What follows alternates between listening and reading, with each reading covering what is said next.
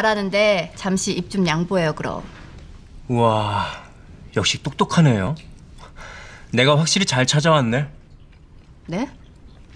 우린 똑똑한 인재가 절실하거든요. 기설아 씨, 내일부터 당장 출근하세요. 제가요?